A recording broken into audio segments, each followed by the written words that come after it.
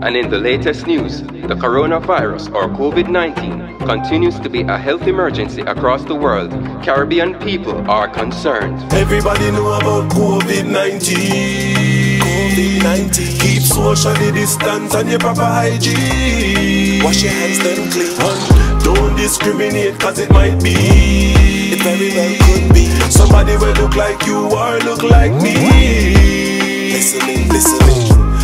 In this together. Yeah. We all got to work with each other. Yeah. Look out for our friends and our neighbor. And if you feel sick, don't be afraid to call the doctor. Red Cross volunteers from across the Caribbean working hard to fight discrimination. So if a person should feel ill, then they will contact the authorities without hesitation. The most vulnerable are the elderly, but the truth is it can infect anybody. So what we need is solidarity. Everyone helping everyone like a family. So this is a message to the nation. Make sure you seek out the right information from official sources like the Ministry of Health, Red Cross, and the World Health Organization. Everybody know about COVID 19. COVID 19. Keep socially distance and your proper hygiene. Wash your hands, then clean.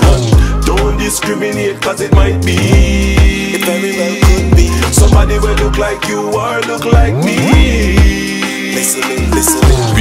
Around the world facing this pandemic coronavirus have the whole world a panic. Now is not the time to be fearful, but to be careful, supportive and empathetic. This is the state of the society. Some people full of fear and anxiety. Yo, a lot of fake news in the community. But what we need now is more love and unity. So this is a message to the nation. Make sure you seek out the right information from official sources like the Ministry of Health, Red Cross, and the World Health Organization. Everybody know about COVID 19.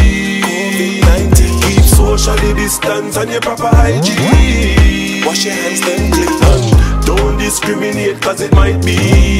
It very well could be. Somebody will look like you or look like me. Listening, listening. We're in this together. We all got to work with each other. Look out for our friends and our neighbor. And if you feel sick, don't be afraid to call the doctor.